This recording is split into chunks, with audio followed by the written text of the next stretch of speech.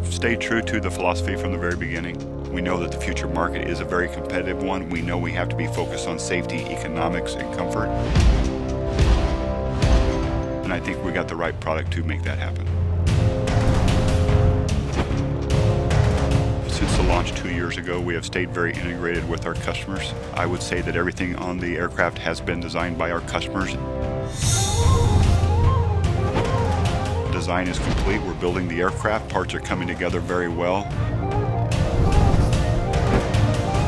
It has been an evolution.